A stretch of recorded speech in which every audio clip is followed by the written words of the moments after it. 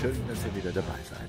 Es ist Anfang April und meine Wanderung beginnt wieder an der Bushaltestelle zur Winterseite in Resiepen. Und zunächst mal gehe ich rauf zur SGV-Hütte.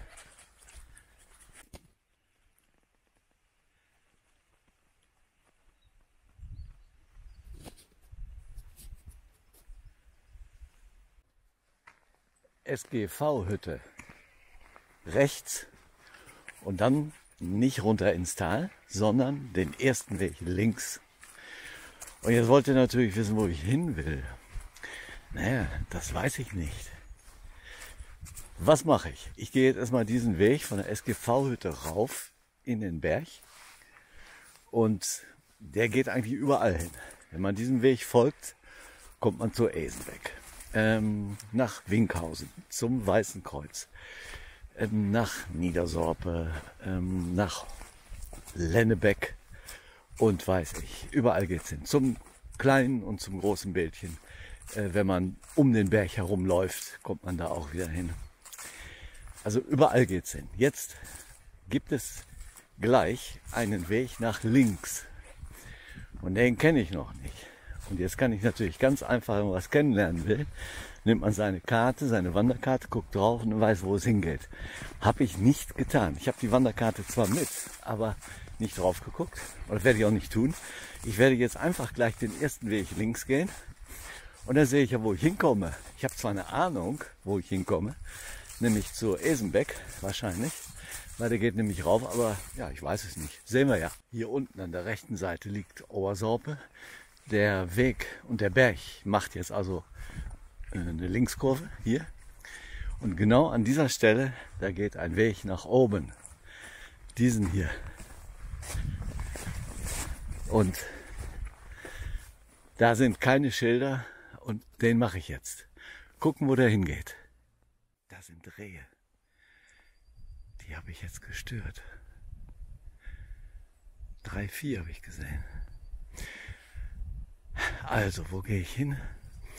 Nach dieser Steigung, wenn ich rechts gehe, habe ich wahrscheinlich eine ganz wunderschöne Aussicht. Mache jetzt aber nicht, weil da Rehe waren. Ich will die nicht weiter stören, also gehe ich hier links. Naja, steigt ein bisschen hier.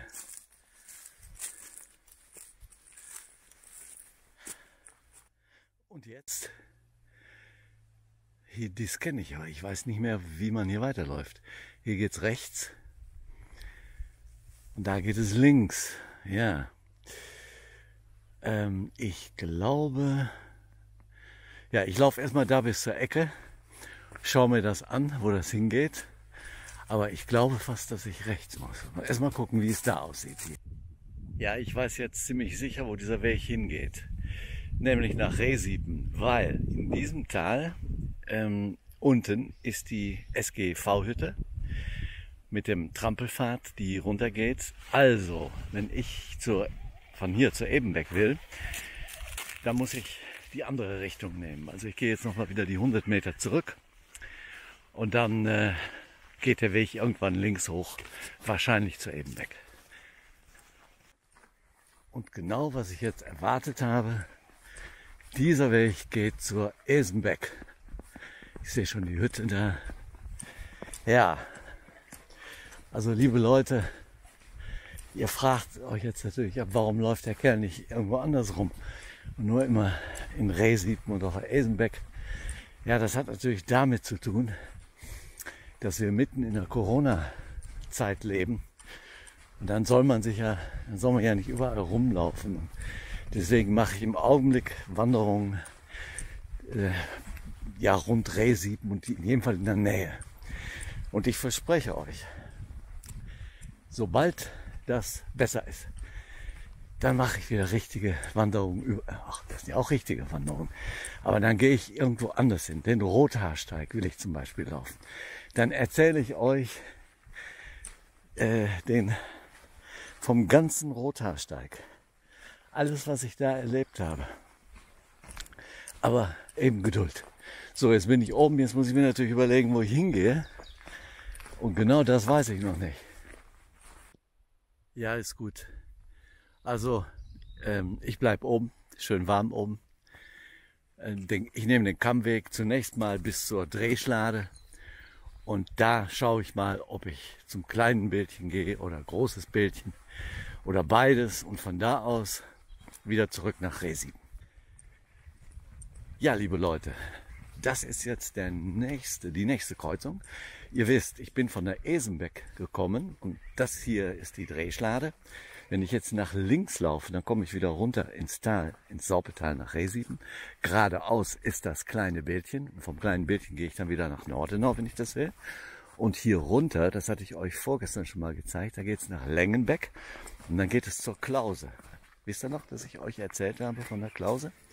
Dass ich da als Kind Sinalko getrunken habe und äh, Schmalzbrote gegessen habe. Das geht also hier runter. Was ich jetzt mache, ist ich gehe einfach zum kleinen Bildchen und dann gucke ich mal, was ich da mache. Bis gleich. Tschüss.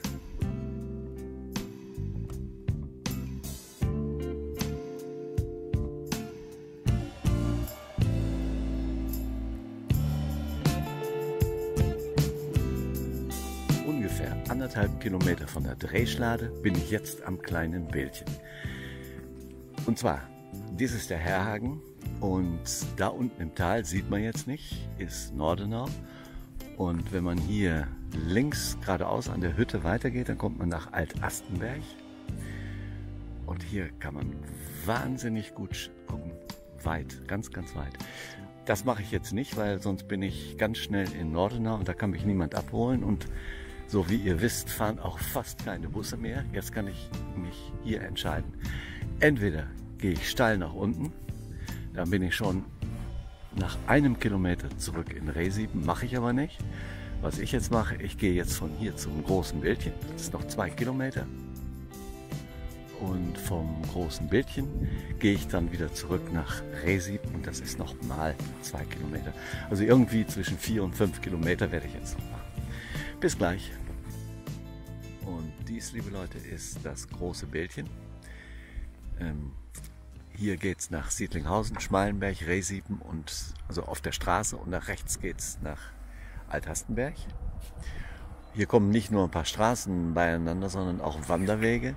An der anderen Seite ist ein Wanderparkplatz mit äh, großer Karte. Da kann man also eine Menge machen, eine ganze Menge Wanderungen. Und ich gehe jetzt diesen Weg zurück. Mal gucken, ob das geht, weil es ein bisschen glatt ist. Also da links von dem Weg links, da bin ich hergekommen, vom Kammweg, von der Eisenbeck. Und jetzt gehe ich hier runter. Ich habe viel Schnee gehabt. Ja, viel. Viel ist es ja auch nicht, aber für April finde ich, ist schon eine ganze Menge, was da im, äh, in, in den Schattenregionen liegt. Und hier ist es teilweise weggetaut und teilweise da hinten sehe ich, ist es wieder ist der Schnee ein bisschen liegen geblieben. Das ist auch gar nicht so schlimm. Es ist nur ein bisschen glatt. Da, wo der Schnee getaut ist und wieder angefroren ist, da muss ich ein bisschen vorsichtig sein. Also, ich habe jetzt noch zwei Kilometer bis nach Resi von hier aus. Also vom kleinen Bildchen aus auf der linken Seite. Man kann auch auf der anderen Seite laufen, dann ist es etwas mehr, gut drei Kilometer. Das hatte ich, glaube ich, noch nicht erzählt. Also unterhalb des großen Bildchens, und zwar in diesem Tal hier, entspringt die Sorbe. Dann kommen ja überall hier aus den Bergen, kommen ja Rinnsale dabei und manchmal auch richtige Bäche, die runterlaufen. Zum Beispiel dies hier. Das kommt jetzt aus diesem Berg. Und das geht ja sofort alles in die Sorpe rein. Und da das ein Tal ist, das Sorpetal, kommen jetzt von zwei Seiten, kommen hier Bäche runter. Und manchmal nur Rinnsale. Und dadurch ist die Sorpe nach einem, zwei Kilometer eigentlich schon ziemlich groß. Und jetzt geht es hier runter nach Resiben, hier nämlich. Da. Und wenn man jetzt hier weiterläuft, geradeaus, dann geht es wieder zurück zur Drehschlade. Ich lese mal ein bisschen vor. Also, kleines Bild von hier geradeaus. 0,4 Kilometer, weil da geht es jetzt in 50 Metern geht es so in den Berg rein. Und dann ist man so wieder oben beim kleinen Bildchen. Dann Drehsiepen noch 600 Meter und so weiter. Und zur Drehschlade ist es noch einen Kilometer, wenn man hier also geradeaus läuft. So, und jetzt geht's hier runter ins Tal. Ja, hier ist es schön warm. In der Sonne äh, ist die Temperatur ganz toll, aber überall, wo Schnee liegt, dann ist es noch verdammt kalt, muss ich sagen. Ein richtiger Hohlweg hier. Toll, ne? Fällt mir jetzt irgendwas ein? Durch diese hohle Gasse muss er kommen. Habe ich irgendwann mal, ist aus einem Gedicht, habe ich mal in der Schule gelernt. Durch diese, diese hohle Gasse muss er kommen. Glaube ich aus Schillers Glocke. Ich weiß es auch nicht mehr, aber äh, schön ist trotzdem, oder? Und äh, ich laufe jetzt hier auf der Winterseite. Guckt euch die Sommerseite an. Grandios, ne? Nix, kein Schnee. Schon über zwei Tage weg der Schnee auf der Sommerseite. Ja, das ist Rehsieben und ja, man kann hier jetzt rechts runtergehen, kommt man zur Straße, man kann links gehen, kommt man zur SGV-Hütte. Oder, was ich jetzt mache, mal gucken, ob da kein Schnee liegt. Ist das zu glatt hier? Ich gehe nämlich jetzt ganz einfach hier runter ins Dorf. Ja, ist nur hier am Anfang ist Schnee. Hier geht es um Lila, liebe Leute. Es hat mich wieder sehr gefreut, dass du mit warst. Und vielleicht bis zur nächsten Wanderung. Es war wirklich schön. Ach ja, du sollst noch wissen, wie viele Kilometer das waren. Ne? Ja, ungefähr 10, nehme ich jetzt mal an. Also, liebe Leute, hat mich gefreut. Euer Wolfgang. Bis zum nächsten Mal. Tschüss.